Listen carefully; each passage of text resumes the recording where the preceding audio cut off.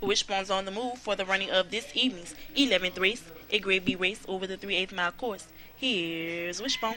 They're off at the break 1 3 6 5 2 4 7 and 8.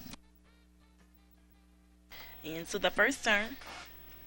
Headed up the front stretch, number one has the lead. 1 3 6 8 7 4 2 and 5. Into the escape turn, number one, Cry Colby has the lead, followed by number three, RJ's Nautica. Number eight, Pilot's Presence, and number four, Jack Hearts. Rounds head down the back stretch into the final turn. Still number one in the lead. One, eight, two, and three. Up the home stretch, number one, Cry Colby headed for the win. One, two, five, eight at the wire. Please hold all tickets.